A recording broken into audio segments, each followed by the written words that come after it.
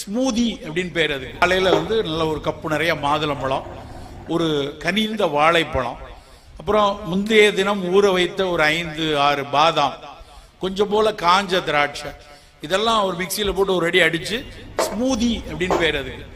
நல்ல வாழைப்பழம் கனிந்த வாழைப்பழம் மாதுளம்பழம் காஞ்ச திராட்சை முந்திரி பருப்பு இதெல்லாம் போட்டு ஒரு கப்பு கொடுத்தாங்க.